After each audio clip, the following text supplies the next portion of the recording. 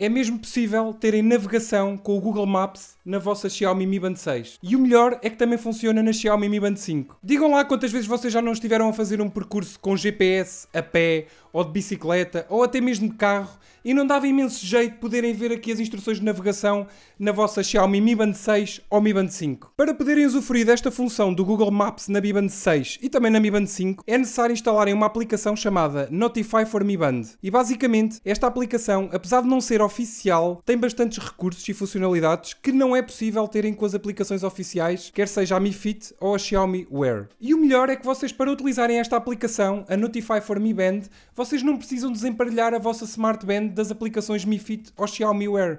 Vocês conseguem usar em conjugação com essas aplicações. É só para vocês verem aqui que não há qualquer conflito de aplicações ou algum erro, ok? Vocês vão conseguir utilizar isto perfeitamente. Assim que abrem a Notify for Mi Band, a aplicação faz logo uma pesquisa por dispositivos e podem logo emparelhar a vossa Mi Band 6 ou Mi Band 5. Assim que o emparelhamento fica concluído, reparem que os dados que normalmente têm acesso através das aplicações oficiais também ficam disponíveis nesta aplicação. Para ativar esta função do Google Maps, é só irem ao último separador em cima com um desenho do envelope e após clicarem, vão dar a uma série de opções. É só clicarem onde diz Mapas, logo de seguida fazem Ativar e aparecem mais algumas opções. Aqui onde diz ignorar notificações, é uma opção que selecionam caso não queiram ser incomodados com notificações enquanto estiverem a utilizar o Google Maps na Smart Band. Para selecionar a opção de aparecer o mapa na Mi Band 6 ou na Mi Band 5, temos de ativar esta opção da foto e depois clicamos em cima da função e aparecem estas duas opções e selecionamos esta que está em baixo que diz mapa em ecrã inteiro. Caso quiséssemos apenas as indicações com setas e distância,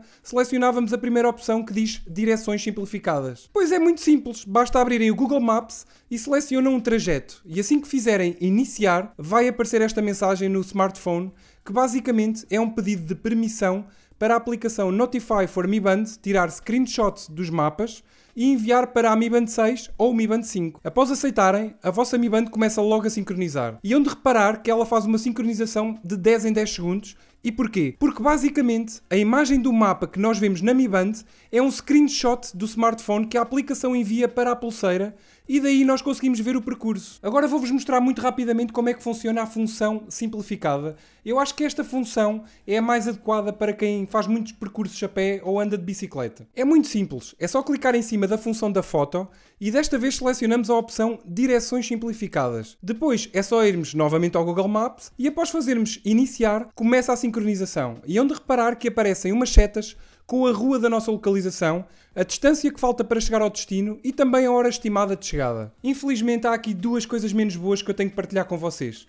Relativamente à aplicação Notify for Mi Band, ela tem uma versão gratuita e tem uma versão paga, que é a versão Pro. A versão gratuita já permite muitas coisas que nem sequer as aplicações oficiais permitem. Mas, por exemplo, para utilizar este recurso do Google Maps, tem que ser mesmo com a versão Pro. Na minha opinião, a aplicação nem sequer é cara para aquilo que nos oferece. E temos que reconhecer que os desenvolvedores esforçam-se bastante e têm muito trabalho para desenvolver estas aplicações, por isso eu acho que eles merecem ser recompensados. A segunda coisa, também menos boa, é que esta aplicação não está disponível na App Store, só está disponível na Play Store.